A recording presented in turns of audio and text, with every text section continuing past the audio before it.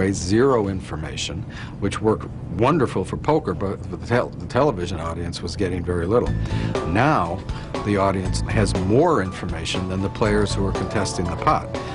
And the fact that, that you know who's bluffing and who's holding the nuts as $500,000 goes into the pot, is, it makes it a thousand times more exciting. It's by far the biggest reason that poker has become so much more popular. I think that really turned the corner for the popularity of poker because it really took the viewer right inside the guy's head and they could sit with their friends and say, what would you do? I would have, I don't know if I'd have bluffed that pot. And it really got everybody involved.